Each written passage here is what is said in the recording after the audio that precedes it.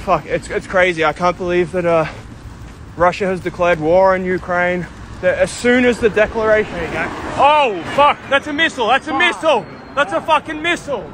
That was one of those like Holy shit. Jesus Christ. All right, we've got to fucking get inside. I can't fucking believe that.